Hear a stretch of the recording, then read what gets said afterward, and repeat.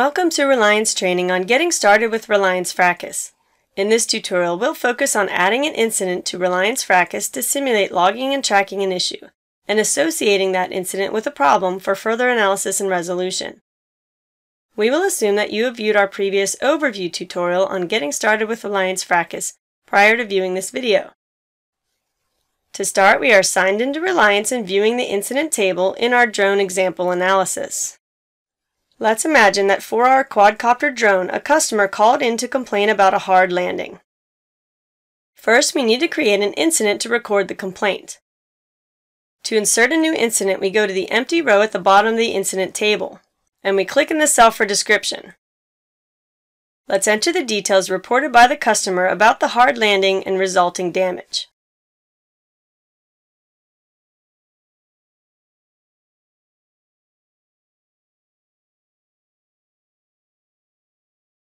To continue, we either click in the Date Occurred field or press Tab to move to the next cell. Having pressed Tab, notice that the Date Occurred field was automatically populated with the date. Additionally, notice that the Incident ID field was automatically populated as well, indicating that Relyence has created a new incident record for us. Note that you can customize this auto numbering in the Analysis Properties in the sidebar. Next, let's enter some additional details relevant to the incident. Starting with the cause, the repair action,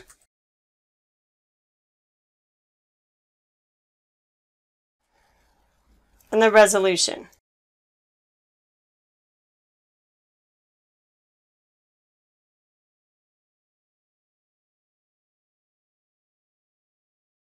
For now, we will leave the Closed checkbox clear. Closed has a special meaning in Relyence Fracas and indicates that the incident resolution is complete. Additionally, the Date Closed field is disabled and will automatically be entered when the Closed checkbox is selected. Now we have the basics of our incident entered. However, during initial incident capture, it is likely that you will want to enter more detailed information about the incident. To do this, we will navigate to the incident form by using the To Form button on the top right of the toolbar. Note that the use of the incident form can also be especially helpful when Relyence Fracas is used on mobile devices. Notice that the data we already entered on the incident table appears on this form, but there are many additional fields that can be entered. We'll enter some additional example details. For simplicity in this example, though, we won't populate all fields on the form. So we'll enter priority, failure mode. We'll select the downtime category as unscheduled. We'll enter cost of repair and the duration of the fix.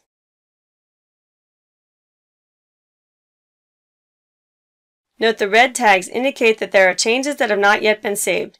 We can click Save in the toolbar to save the incident and its newly entered data. Since our incident has now been entered and saved, let's move to the Problems table and see if this new incident should be grouped under an existing problem. To navigate to the Problems table, we click Problems in the sidebar.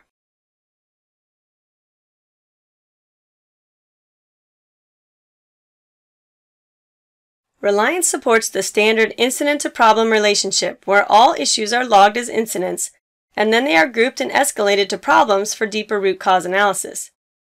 Do note that the use of problems is not required. You can complete the Fracas process using incidents only if preferred, but the use of problems can definitely be helpful in many cases. Now by default, the Problems table displays the problems associated with the selected analysis tree item.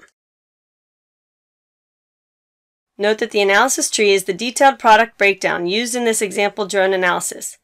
Use of the detailed analysis tree is optional in Relyence Fracas. If at any time we want to see all problems, we simply switch to Show All. And at any time when we don't need to see the analysis tree, we can easily hide the window to see more of the problems table, for example. So now we can see all of the problems in this analysis. In this table, we can see that the description for problem 1 is similar to the incident we just reported. Note that in this case, it was easy to scan the small number of problems to check for a good association. But in the event of having a large number of problems, you can apply a search by clicking in the row just below the column header. Now we should associate the new incident to problem 1 so duplicate effort does not occur for root cause identification and corrective action. To associate our new incident to problem 1, we click in the row for problem 1 here in the problems table, and then click the To Form button to go to the problem forms.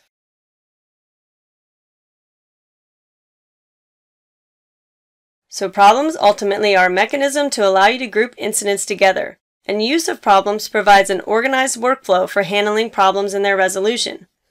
In this example, the problems are defined based on the well-known and established 8D process for problem resolution. Here, problem 1 is at step 7, prevent reoccurrence in the 8D process.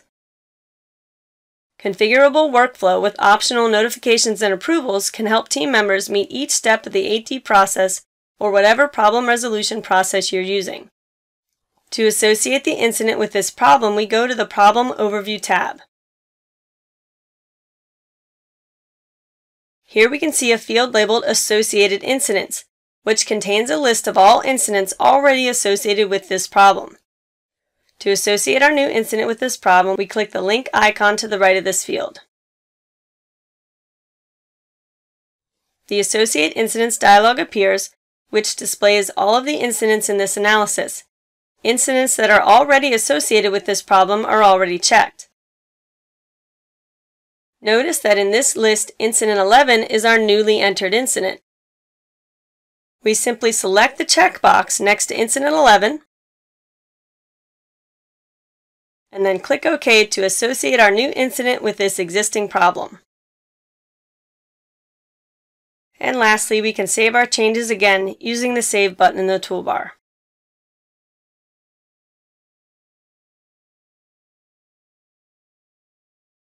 And just a couple of quick reminders before we wrap up this tutorial. All tables and forms in Relyence Fracas are completely customizable. In this tutorial, we show the default one-step incident template and default 8D problem template provided with Relyence. There are many other incident and problem templates available in Relyence, which you can use as is or customize to fit your needs.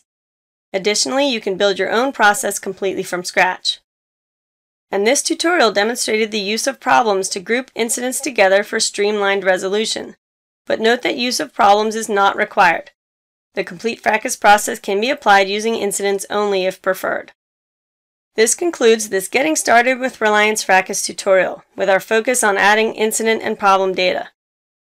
Thanks for watching. Please visit our website or contact us with any questions or to obtain pricing and purchasing information.